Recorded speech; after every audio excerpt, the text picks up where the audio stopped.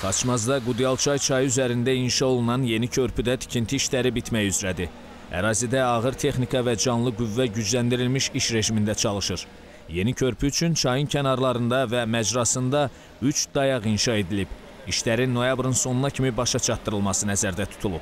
Körpüdə demək olar ki, bütün əsas işlər görülüb, dayaqlar hazırdır və üstünün tirləri quraşdırılır və bunun üzərinə iki qat tordan ibarət e, dəmir-beton, e, monolit qat gedəcək. Onun üzərindən də asfalt qatı və sağ-sol e, piyada keçidləri e, tamamlanmaqla körpünün üstü hazır vəziyyətə gələcək. Körpü iki aşırımdan ibarətdir. Hər bir aşırımın hər biri 30 metrdir.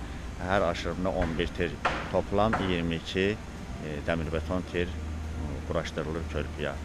Bundan əlavə çay yatağında körpünün özü qədər önəmli olan, vacib olan sahil istinad divarları, bir də mühafizə bəndinin bəndi üzərində iş gedir. Qeyd eləyək ki, çay üzərindəki köhnə körpünün uçması nəticəsində həmin ərazidə yaşayan 98 yaşayış məntəqəsinin təxminən 97 min əhalisinin Xaçmaz və Xudatın digər əraziləri ilə əlaqəsi kəsilib.